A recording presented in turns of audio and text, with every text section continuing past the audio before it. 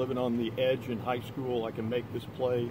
And does that have to change now or no? I mean, I'd always still go through my reads and stuff like that, like a regular quarterback. I just feel like, okay, if they blitz and somebody's coming, I mean, I can I can make that guy miss and still still make something happen. So where um, maybe some quarterbacks just take that hit and go down. I mean, that's just where.